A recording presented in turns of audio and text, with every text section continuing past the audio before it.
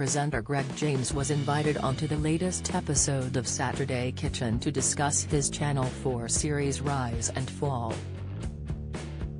Matt Tebbutt summoned him to the kitchen counter to help him rustle up a Normandy apple tart, but it all went horribly wrong for the BBC One chef. Greg was explaining the concept of the new series Rise and Fall which involves a group of people fighting for the position of power and £100,000.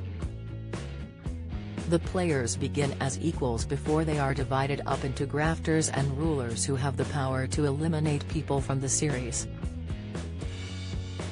The grafters have to undertake work shifts in order to add to the prize pot, but the rulers will be the only people to benefit from the money. Some grafters are voted to rise the ranks and become rulers, whereas some rulers are sent down to the basement to become workers. Beyond Paradise stars confirm Humphrey and Martha's fate Greg told Matt, rulers, have to keep the grafters happy, keep the workers happy. I guess over the last few years we have had to listen to a lot of rules, telling us to stay inside and telling us we are not allowed to have parties, that sort of thing. It's been really interesting seeing how these people govern essentially.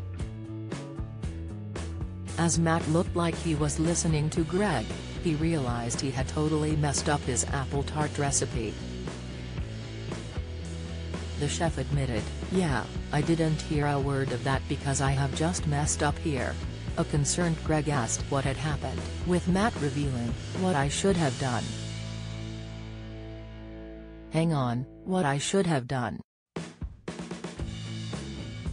So imagine the tart shell doesn't have custard in it, imagine that situation.